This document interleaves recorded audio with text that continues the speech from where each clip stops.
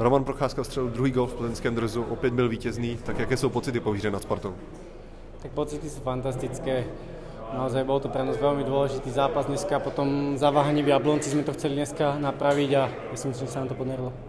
Jak se vůbec ten golový moment seběhl? Byla tam nějaká teč při té střele? Tak bolo to celé nejaké zvláštne, naozaj bola tam spätná prihrávka. Uh, ja som vlastne toto išiel zakončiť, išiel do toho aj krmi zakončiť, obidva sme sa nejako aj zrazili.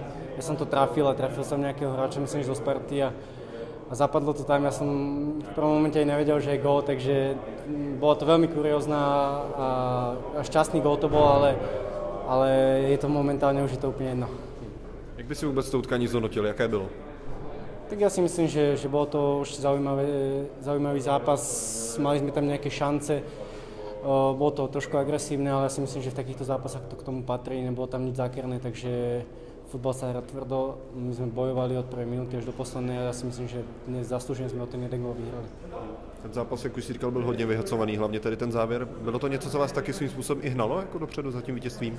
Tak my sme hlavne vedeli, že to bude, že to bude vyhecované veľmi, tieto zápasy sú vždy také a boli sme na to pripravení, ale ako som povedal, bolo to vyhecované, ale nebolo tam nič zákerné, možno tá, na konci tá červená karta, ale to už asi s nimi pracovali nejaké nervy, ale my sme hlavne radi, že sme to zvládli za tie body. Téměř 12 000 diváků, co si říkal na atmosféru? No fantastická atmosféra, ale my tu domáce zápasy máme vždy plné, takže tá atmosféra je vždy výborná. A samozrejme hlavne sme radi, že sme, že sme tým fanúšikom očinili tú prehru, ktorú sme, to, ktorá bola v Jablonci a že sme ich dneska mohli potešiť. Tak Lukáši, výhra 1-0 na Spartou, jak těžké bylo utkání?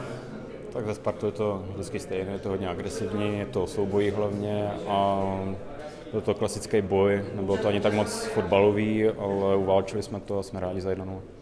Ten zápas byl hodně vyhacovaný, jak už si naznačil. Bylo to něco, co vás svým způsobem i hnalo dopředu? Tak uh, ono s tou Spartou je to vždycky takový, takže my jsme s tím tak nějak kalkulovali, že to takhle bude a samozřejmě lidi nás hnali. Uh, když, když uh, se to takhle odbojovalo, tak uh, samozřejmě o to je to cenější. Sparta hodně často v zápase spolehala na rychlé breaky, tak jaké to bylo pro vás obránce vzoru? Tak rychlé breaky jsou vždycky nepříjemné, zvlášť když to mají nahoře rychlého hroťáka, silného, takže musím říct, že v tomhle tom směru to bylo hodně náročný, ale myslím si, že jsme se s tím poradili docela dobře, slušně a jsme spokojeni.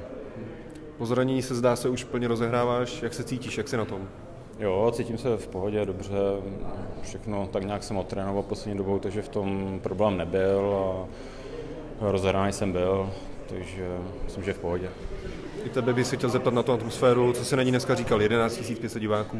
Jo, paráda tady, prostě vždycky, když se hraje doma, tak člověk si to užije ten zápas a s, hlavně se Spartou je to to cenější a musím divákům poděkovat, že udělali výbornou kulisu.